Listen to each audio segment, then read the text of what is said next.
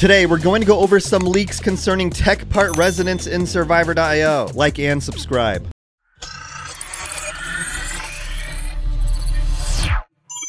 So as you see, Survivor.io posted this on Twitter, or X, whatever you want to call it. Breaking news, we finally received information from headquarters about the part's resonance functions, scheduled to be implemented on April 19th. That's in a couple of days. They posted this image and I translated it, so let's check that out. Hello survivors, today we would like to introduce you to a new feature that will be implemented soon, parts resonance. Let's take a look at how to make your parts even more powerful. When you obtain the first quality, legend, or higher part. So when you obtain a legend tech part, the resonance function will be unlocked. After the resonance function is cancelled, you will be able to equip sub parts. You can see the added subpart slots on the parts page. About subparts. After subpart slots are unlocked, you can place unused parts on subparts on the equipped parts to increase the overall power. However, please note that only attack type subparts can be placed on attack type parts, and only defense type subparts can be placed on defense type parts.